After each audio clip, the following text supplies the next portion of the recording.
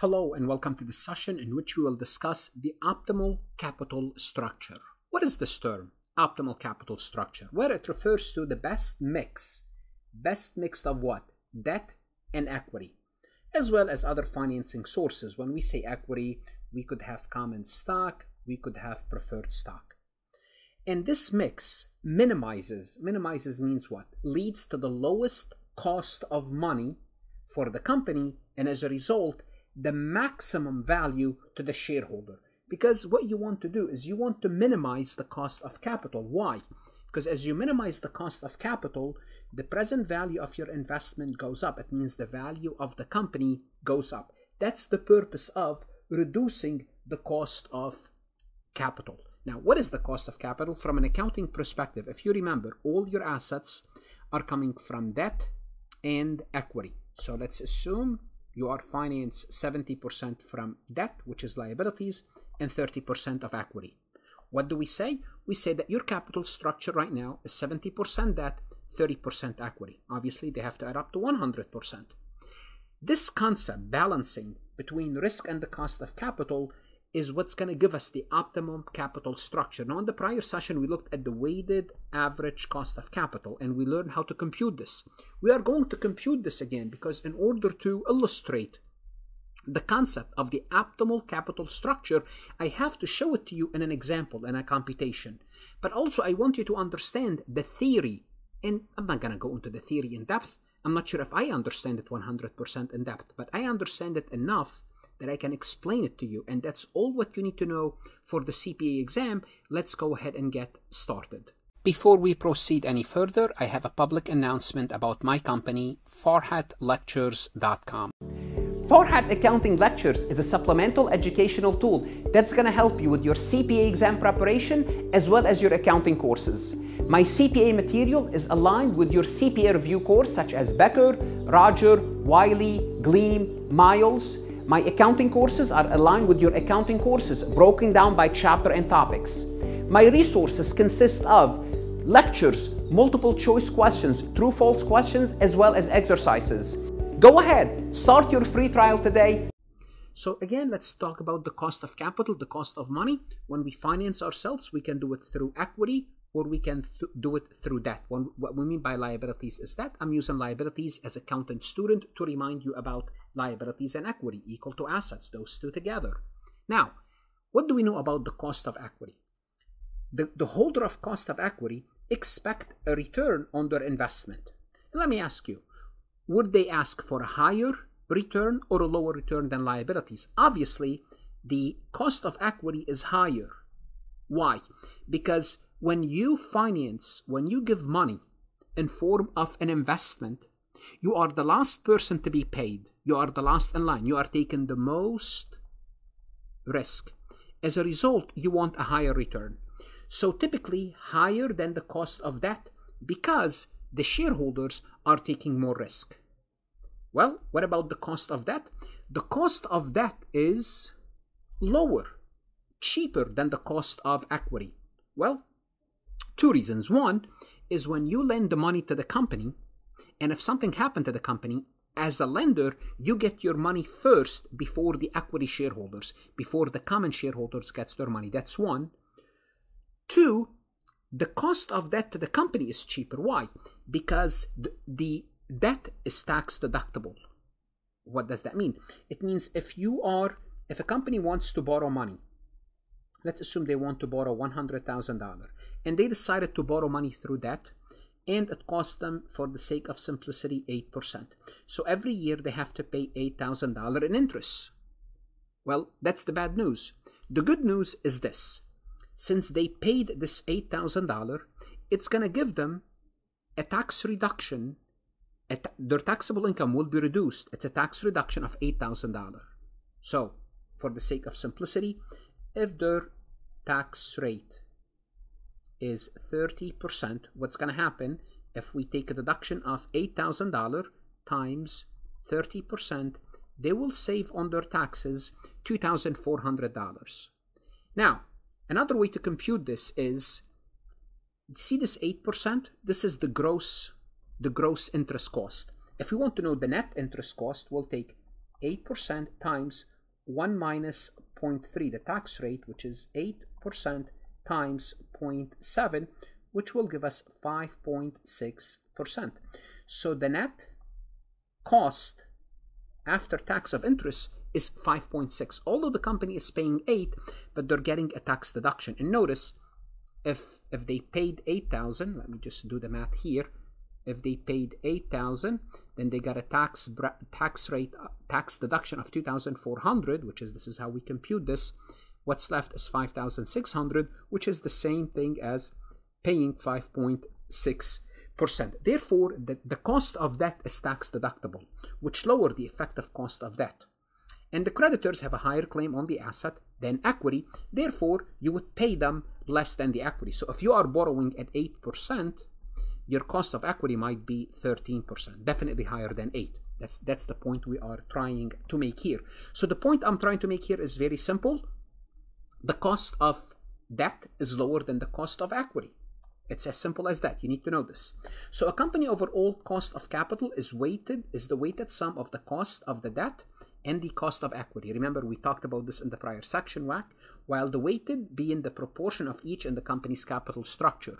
So we just have to weigh the cost. And we, we're going to look at it again, but just a reminder, which is this is WACC, the weighted average cost of capital. We'll work an example. A little bit more about risk, just to kind of complete the picture before I explain the theory. There's financial risk. The more debt a company has, the greater its financial risk. So you have to understand something. Yes, the cost of debt is lower. We already established this. However, the more you rely on that, the more the company rely on that, the more the risk it has. Because that requires payment. And sometimes the company may not have the payment. Versus equity, you don't have to make a payment for the shareholders. They're the owner of the company. They're, they're willing to wait. They're willing to take the risks because they invest they invest with you. They own the company. And there's also business risk the inherent risk in the company's operation. A company with a stable cash flow will be able to support a higher debt load. So overall the more that you have the higher is your financial risk. Now there's a there's a trade-off here. There's a trade-off. And kind of I, I I kind of touch upon it but let's let's let's understand it from a theoretical perspective before I show it to you on a graph the theory suggests that there's a trade-off between the interest tax shield provided by debt financing and the cost of financial distress. What does that mean? It's up to a point, it's good to finance with debt for two reasons. It's lower and it create that tax shield or tax saving. Tax shield or tax saving, you remember I just showed it to you. It was 8%, the, the what's quoted, what you're really paying, but 5.6 in actuality because you get a tax shield from the taxes you saved 2.4% or you know or 2400 for the sake of our example. Up to a certain point the benefit of the debt tax shield outweigh the cost of financial distress. So at some point if you have too much debt then you go into the bankruptcy risk. Then the risk of bankruptcy goes up if you start to keep on piling more debt. Because what happens is this. If, as you keep piling more debt you have a higher payment higher fixed payment. That's one risk. Two the credit agencies they would lower your credit rating because you are carrying too much debt. So beyond a point, a certain point, this is what we're going to be looking at, additional debt increases the company risk of financial distress disproportionately. So again, debt is good up to a point. What is that point? That's the optimal capital structure. So theoretically, let's explain this from a theoretical perspective. And I'm going to simplify this as much as possible. So we're going to look at the optimal capital structure where debt gives you no tax deduction. So we're going to assume we live in a world where there's no taxes. Simply put, that doesn't give you a tax shield because that is not tax deductible, to illustrate the point. So with zero debt, if we have zero debt in our capital structure, simply put, what's zero debt? It means all the assets are coming from equity. 100% of the assets are coming from equity. Remember, assets coming from equity and debt. But let's assume we have zero debt. Everything is from equity. I'm going to say this, our cost is 12%. Just I'm making up this number.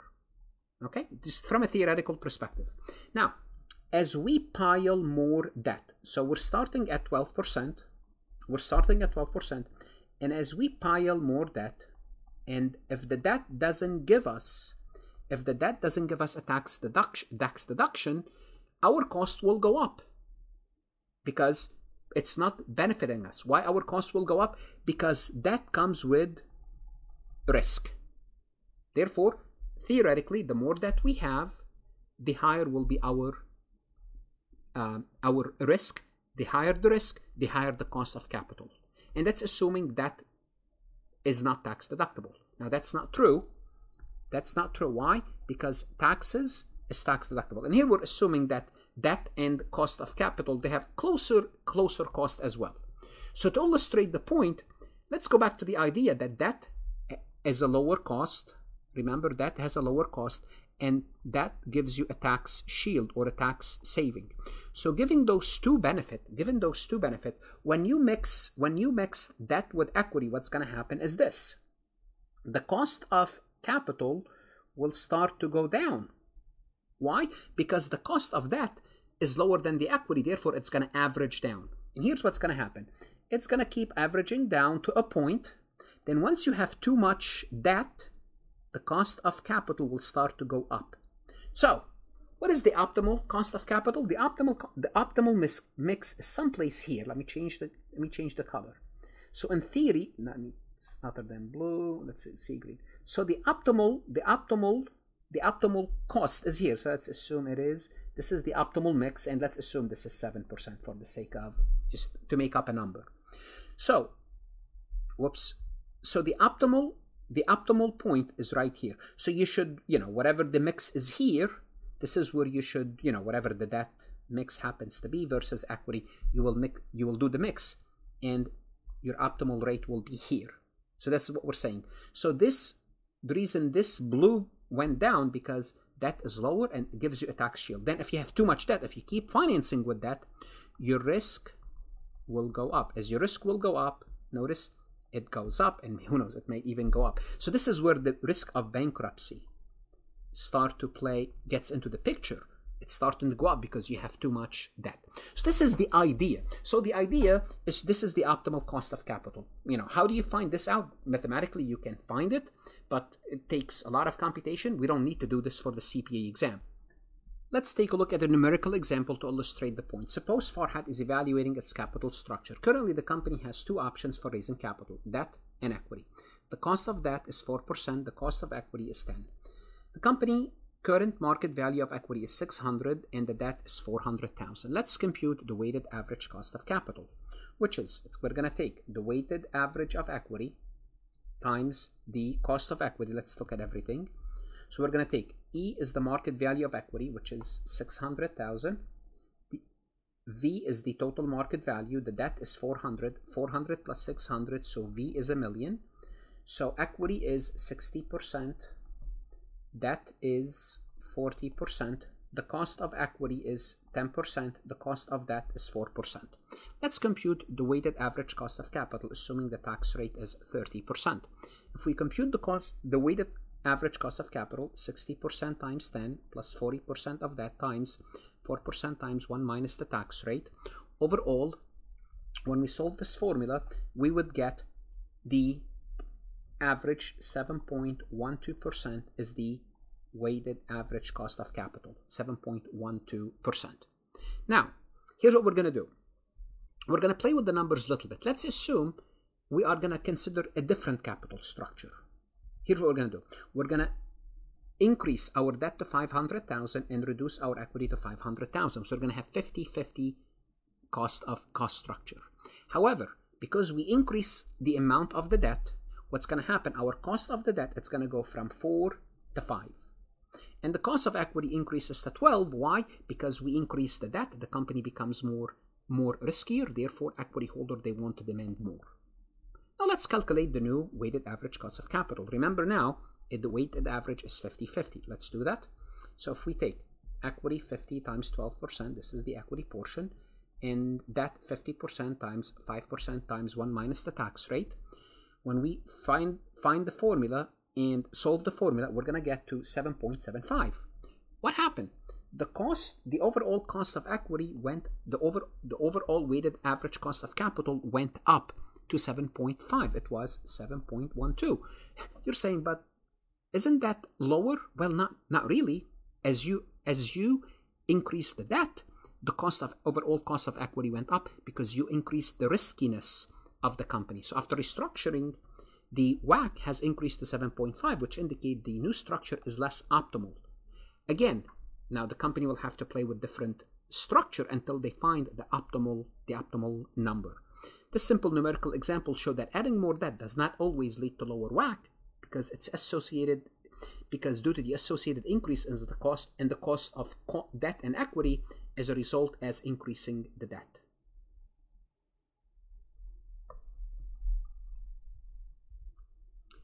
So this simple numerical example showed that adding more debt does not always lead to lower WACC because you're thinking it should because the, the debt is lower. No, by adding more debt, the cost of the debt goes up and also the cost of equity because the company becomes riskier.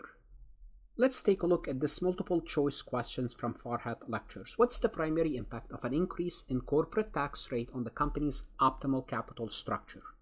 So cap tax rate is up, so taxes are going up.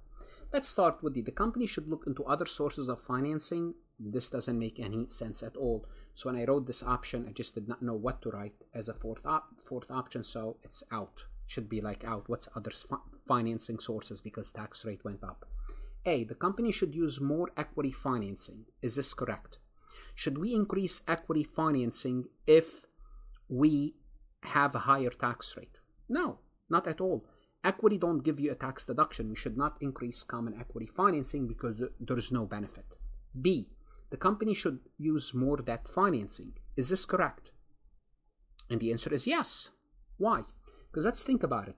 If you are borrowing at 10% and currently your tax rate is 30%, so 10% minus 1.3, which is 1 minus 1.3 is 0.7, you, your after tax rate is equal to 7%. Now let's assume you're borrowing at 10% and your tax rate is 40%. 1 minus 0.4, so 10% times 0.6, your after tax is 6%. So notice, as your tax rate went up, you are experiencing a lower net interest cost. Therefore, the company should use more debt is a very reasonable uh, answer, but let's look at C. The company's capital structure should not change due to tax rate changes. Of course, it should change. As tax rate changes, your cost of that goes down. It does change. Therefore, the answer is B as in boy. What should you do now? You should go to Farhat Lectures and look at additional MCQs. That's going to help you prepare for your CPA exam or your courses. Good luck, study hard, and of course, stay safe.